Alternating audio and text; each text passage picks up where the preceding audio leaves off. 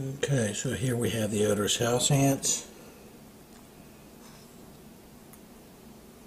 They're bad already, and it's still cold outside. We've placed some gel bait in the cracks and crevices, and they're feeding on that now. And they're also telling their nest mates where it is.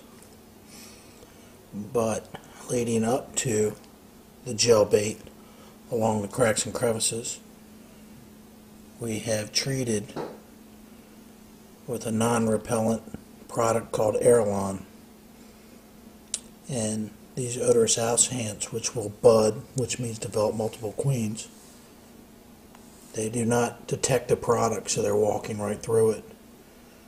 And they give off certain enzymes, and this product affects the enzymes. So we will check back in a week or so and we'll see how well our product has worked.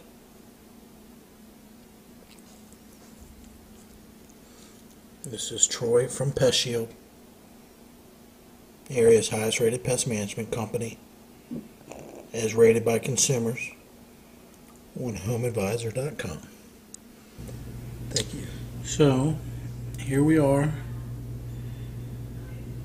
back at the area where we have put out some ant gel bait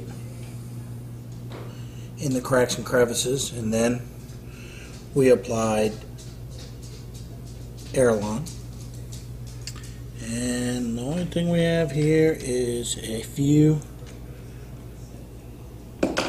dead ants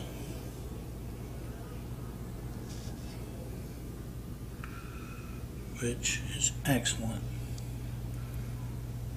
And so we'll continue our perimeter treatments, which is key, and then discuss with our homeowner about reducing the conditions that are conducive, which is moisture, plants, a lot of vegetation around the foundation, around the structure, because these ants will feed on honeydew secreted from aphids.